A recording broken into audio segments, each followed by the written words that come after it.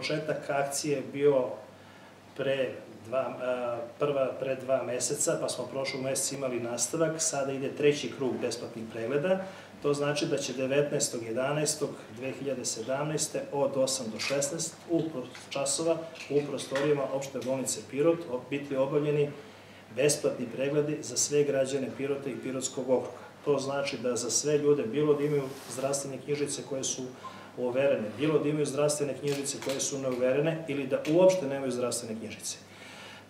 Zbog velikog interesovanja, ministarstvo je odlučilo da se ponovo ponovi pregledi ultrazvuka stomaka, što znači da će ovog puta biti rađeni ultrazvučni pregledi stomaka ponovo, bit će rađena mamografija i bit će rađena procena funkcija štitne žlezde.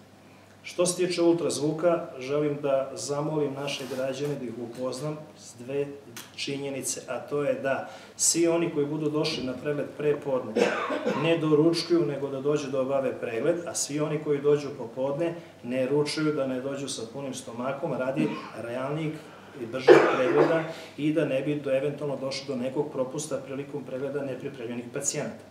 Takođe bih zamolili da dan pre toga svi oni koji budu planirali da urade ultrazvuk, jedu lakšu hranu, odnosno hranu koja ne, ne, bar njima godi i ne pravi nadimanje, odnosno gasove u stomaku. Što se tiče mamografije, zakonske su obaveze da se mamografije rade kod žena starih od 40 godina. Znači, ispod 40 godina neće biti rađene mamografije.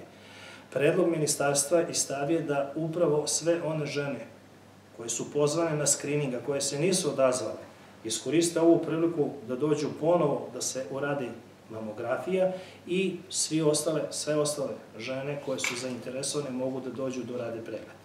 Što se tiče ultrazvučnih nalaza, oni se pišu odmah i to pacijenti dobiju na obrazcima koje daje Ministarstvo zdravlja, a mamografija će biti pročitana u što kraćem roku, svi će biti pozvani i svi će dobiti nalaze do kraja, ja se nadam, već sledeće nedelje, jer ćemo, zavisnosti od broja pacijenata, organizovati broj radiologa koji će uraditi čitanje.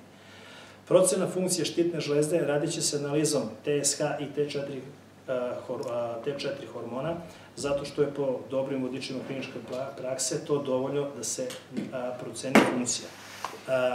Isti je sistem kao i za mamografiju, kao i prošlog puta za PSA Naknadno će svi pacijenti biti pozvani, dobit će vrednosti nalaze koje budemo, koje budu urađeni u laboratoriji. Nalazi će biti urađeni istog dana, što znači da će u nedelju do 7-8 sati najkasnije svi nalazi biti gotovi. Od ponedljaka ćemo početi da delimo nalaze hormona štitne žlezde. Za sve promene u vrednostima nalaza biće organizovani naknadni termini i bi svi ti građani biće pregledani od strane endokrinologa opšte bolnice u Pirotu.